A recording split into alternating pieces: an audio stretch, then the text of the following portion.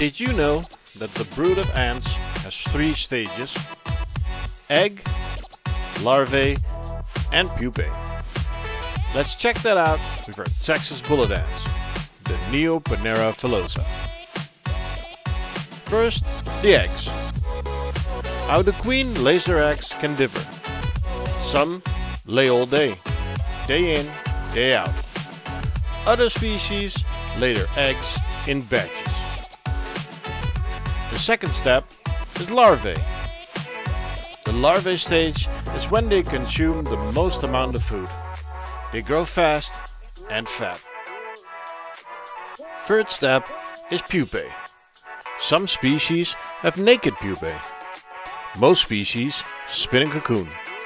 And some species, like our villosa, spin a cocoon, but need substrate to do so.